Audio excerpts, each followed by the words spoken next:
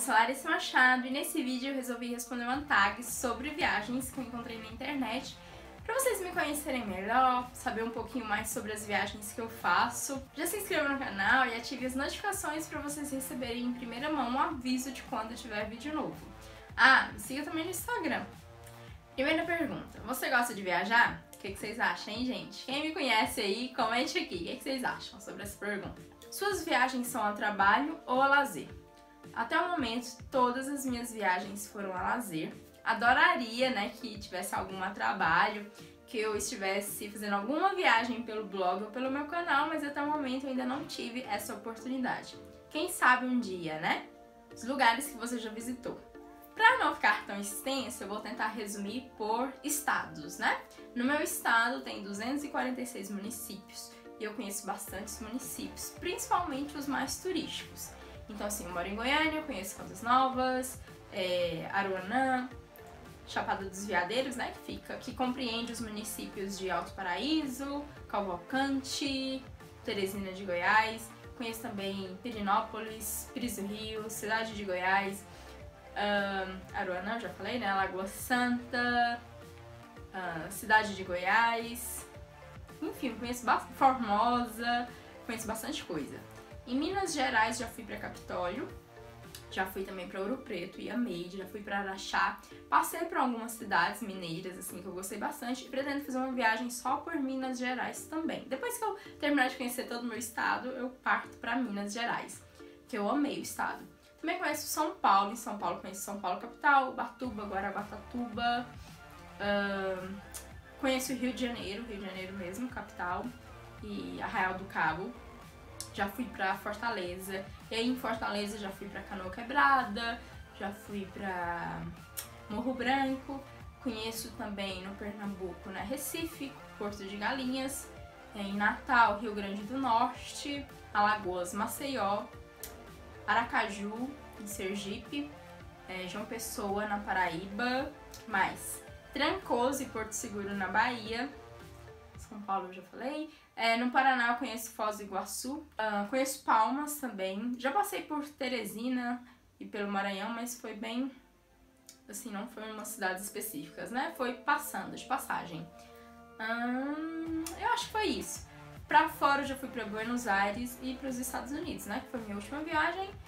Nos Estados Unidos eu fui pra Califórnia, São Francisco, Danuba, Fresno e Los Angeles. E fui também pra Las Vegas, no estado de Nevada. 4. Qual a sua melhor viagem? Antes de eu fazer essa minha última viagem para os Estados Unidos, eu tinha um, um, alguns melhores lugares. Tipo, eu amei Ouro Preto em Minas Gerais, foi uma viagem ótima. Eu amei o Rio de Janeiro, as duas vezes que eu fui com as minhas amigas. Também foram viagens ótimas. Eu amo Fortaleza, amei conhecer Fortaleza, já fui duas vezes também, amei. E agora sim, como era uma viagem dos meus sonhos, como era uma viagem assim que levou 27 anos para eu realizar. Assim, foi a minha melhor viagem até hoje, porque não é uma viagem mais recente, né? Mas assim, amei, amei a Califórnia e por mim eu estava lá novamente. Mas, cinco, pior viagem. Eu acho que não existe pior viagem. Toda viagem é boa do seu jeito, sabe? Toda viagem tem seus momentos ótimos, a maioria são ótimos, mas eu tenho alguns momentos ruins, né? Tipo, pneu quebrar na estrada, pneu de ônibus, porque eu já viajei muito de ônibus. Uh, sei lá, aconteceu alguma coisa com carro e tal, mas assim, a pior viagem não tem. Não que eu me lembre, não existe uma pior viagem. 6. Uh, situação engraçada. Quando eu vi essa pergunta pela primeira vez, eu logo lembrei da minha viagem pro Rio de Janeiro, a primeira vez que eu fui pro Rio de Janeiro, e foi a primeira vez que eu fiquei no hostel. E aí eu estava morrendo de medo. Eu, meu Deus, ficar num hostel com num lugar, dormir com pessoas que eu não conheço, ainda mais num quarto misto com homem e com mulher, eu morro de medo e blá blá blá. E minhas amigas tentando me convencer, eu não, não. Eu, ok, a gente fica a primeira e a segunda noite, mas depois a gente vai para um apartamento. Porque a gente estava olhando alguns apartamentos na internet, mas era tudo muito caro, principalmente na época em que a gente não trabalhava, não estagiava, então assim, eu tinha um dinheiro que eu recebia da pensão, de uma mesada, né, que minha mãe me dava, minhas amigas também assim, não tinha dinheiro, cada um tinha um pouquinho de dinheiro, então a gente queria economizar, mas a gente queria ir para o Rio de Janeiro, que era um congresso sobre meio ambiente, é, um congresso de jornalismo e meio ambiente. Então a gente encontrou alguns apartamentos, mas era tudo bem caro e não existia Airbnb. E a gente achou um apartamento com preço ok. Então a gente ficaria. Mas ele não estava disponível, então a gente ficaria dois dias no hostel, depois ia para esse apartamento. E chegando lá no Rio de Janeiro, teve um dia que a gente foi conhecer esse apartamento pra, pra ficar. Gente, quando chegou lá, era numa rua super famosa, se eu não me engano, era Nossa Senhora de Copacabana, que é uma rua anterior à Orla, né, de Copacabana. Era um prédio gigante, bonito, assim, quando eu cheguei. Mas quando a gente entrou no apartamento, e o dono era um alemão. Não esqueço o nome dele até hoje, mas eu não vou falar aqui, né, claro. E aí a gente entrou nesse apartamento, gente, era um muquifo, muquifo. E assim, o apartamento era gigante, mas parece que ele tinha alugado cada pedaço para uma pessoa e tinha fiação exposta, tinha cano exposto. Ele abriu um quarto, tinha gente dormindo, tipo, gente, como que alguém abre um quarto com outras pessoas dormindo, sabe? Então a gente assim ficou assustada. E ele, tipo assim, não, vocês vêm me ajudar a limpar e aí eu faço mais barato, e aquilo. E a gente bloqueou ele e nunca mais respondeu. Eu acho assim, foi super engraçado. Depois disso, eu já fiquei em vários hostels. Amo ficar em hostel, não vejo problema. É igual eu falo, amo ficar em hotel, um quarto só pra mim e tal. Mas se for pra ficar em hostel, eu fico tranquila, amo também. E assim, o que importa é viajar. Eu acho assim, foi a situação mais engraçada, foi essa, gente, foi super engraçado. E aí, porque eu tava com minhas amigas, Fernanda e Jordana, foi minha primeira viagem sozinha com amigas. Então, assim, foi maravilhosa. E foi pro Rio de Janeiro, né? Eu amo Rio de Janeiro também. Uh, sete, situação perigosa. Eu acho que essa que eu te essa que eu falei, né, no número 6, também foi uma situação perigosa, porque a gente foi no apartamento de uma pessoa que a gente nem conhecia, que viu na internet, mas que no final, ok, a gente não quis e pronto, passou. Uh, teve a segunda vez que eu fui pro Rio de Janeiro também, que eu pulei de asa delta, não foi assim um perigo. Foi tipo, eu escolhi, né? Mas foi uma situação perigosa, mas perfeita. Uh, e essa última viagem, né, que eu fui sozinha, então, querendo ou não, você passa por algumas situações assim de medo, de meu Deus, né? Mas no final deu tudo certo, não aconteceu nada comigo, não fiquei assim, perdida e tal, consegui chegar nos lugares que eu pretendia chegar e foi tranquilo. Eu acho que só no dia que eu tava indo de Fresno pra Las Vegas, assim, a atmosfera do ônibus era outra, tinha umas pessoas estranhas e sim, eu fiquei com medo. Fiquei com medo e eu, meu Deus, o que, é que eu tô fazendo aqui? Não deveria ir pra Las Vegas e tal, mas depois, gente, foi super tranquilo. Então, assim, às vezes a gente tem um certo preconceito, né? Um conceito inicial e que não é aquilo. Então, assim, todas as minhas viagens foram maravilhosas. Ah, agora tem uma situação perigosa, realmente. Teve uma viagem que eu fiz, não lembro o ano, mas foi pra Maceió.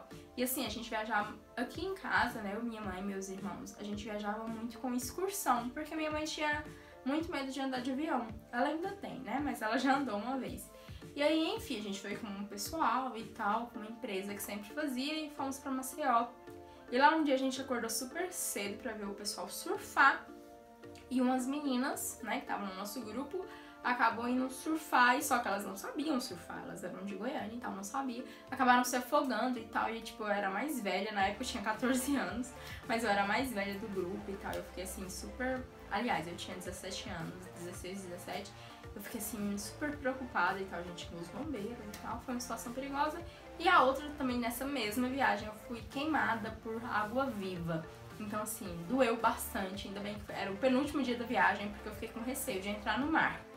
Mas é uma situação, assim, que acaba acontecendo, né? Então, essas foram as situações perigosas que eu me lembre. Oito. Qual a viagem que você sonha em fazer? A viagem que eu sonhava em fazer, eu realizei, né, neste ano, foi a viagem para Califórnia. Era a viagem dos meus sonhos. Agora sim, eu tenho um sonho de conhecer a Grécia, a Itália, o Egito. Meu sonho é conhecer o mundo todo, né? Mas esses são os que estão assim na listinha, né, de principais. Vamos ver aí quando eu vou realizar esses sonhos. 9. Você gosta de viagens para cidade ou para o campo ou praia? Eu gosto de todo tipo de viagem. Eu amo ir para cidades históricas, mas também amo praia. Eu amo cidades urbanas, tipo São Paulo e Rio de Janeiro, que tem muita coisa para fazer, tem muita coisa para ver. Mas amo também ir para cidades do interior e tal. É, com cachoeira, com lago, com cidade histórica, com museu, sabe? Assim, eu, eu amo viajar, então eu não coloco, tipo, ah, só gosto de praia, eu só gosto de cidade grande. Não, eu amo, então tudo pra mim tá valendo. 10. Como você faz seu roteiro? Por agência ou você mesma? Então, a, quando eu viajava com a minha mãe, com meus irmãos, assim, com essa excursão, já tinha um. Com essa empresa, né? Já tinha um roteiro próprio, a gente ia com eles. Então, assim, foi assim que eu conheci o Nordeste todo e tal, porque eles sempre faziam, ah, pra Fortaleza e pra Natal para Porto Seguro e para João Pessoa, por exemplo, sabe? Eu sempre incluía duas ou três cidades do Nordeste. Então, assim, eu amava e tal, eu gosto até hoje, mas aí eu fui fazendo outras viagens com os amigos, viajando sozinha, viajando aqui em casa com a família mesmo. Então, eu mesma faço roteiro, eu prefiro fazer o roteiro. Quando eu viajo com minhas amigas, assim, elas sempre falam, ah, o roteiro a Larissa cuida, porque eu gosto. Eu gosto de escolher as cidades que eu quero ir, eu gosto de escolher as, as atrações que eu quero ir. Eu gosto de planejar, então assim, eu amo fazer roteiro, eu amo pesquisar, eu amo planejar uma viagem. Então, na maioria das vezes, as últimas viagens, eu quem tenho feito meu roteiro. Quando eu fui para Buenos Aires, eu fui com uma empresa que fazia umas viagens universitárias, eu ainda estava na faculdade, eu fui mais, com mais duas amigas. O rapaz da empresa, né, dessa viagem, ele fez um roteiro do que ele iria fazer, porém cada um era livre. E eu acabei decidindo fazer o meu próprio roteiro, não esperar o pessoal, todo mundo se reunir e acordar. Tanto é que eles não fizeram tantas coisas igual eu e as minhas amigas fizemos, porque eu planejava, a gente ia, a gente pegava táxi, a gente ia de a pé, pegava ônibus, enfim, eu gosto de eu planejar e eu ver as coisas que eu quero ver. E aí, se também não conseguir ver, ok, né? A gente tá viajando pra viver a viagem, vivenciar a viagem. E 11. Você viaja com os amigos, família ou sozinha? Então, tive a minha fase de viajar com a família, né? Até os 20 anos tal. Eu ainda viajo muito com a minha mãe, ela nem pode reclamar. Então, qualquer coisinha, ah, Larissa, vamos pra tal lugar, vamos, vamos pra tal lugar de carro, vamos, eu vou. Porém, eu também viajo bastante com minhas amigas. Agora deu uma paradinha, porque cada um vai fazer uma coisa e tal. E aí eu comecei a viajar sozinha. Essa foi a primeira. Na verdade, ano passado eu fui pro Fica sozinha, mas eu fui com uma excursão com a qual eu já conhecia a organizadora dessa excursão. Então, assim, não fiquei totalmente só. E para os Estados Unidos, né? Foi uma viagem totalmente sozinha, que eu planejei sozinha, que lá eu fiquei sozinha, que eu acabei encontrando conhecidos, que eu conheci pessoas, porém foi uma viagem totalmente sozinha. E eu amei, não vejo a hora de eu fazer uma viagem sozinha novamente.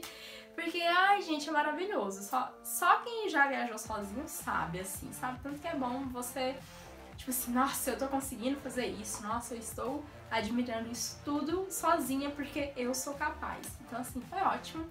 Essa então foi a tag que eu encontrei na internet, num blog chamado Perguntas para Tags porque eu estava totalmente sem ideia. Mas espero que vocês tenham gostado. Deixe aqui alguma dúvida ou sugestão. Tô com essa voz meio estranha, porque eu tô meio gripada, rouca, mas ok. Comentem aqui, ative também as notificações para receber em primeira mão quando tiver vídeo novo. E me siga também lá no Instagram, porque eu posto meus stories, posto stories de viagens, dicas e muito mais. Tchau!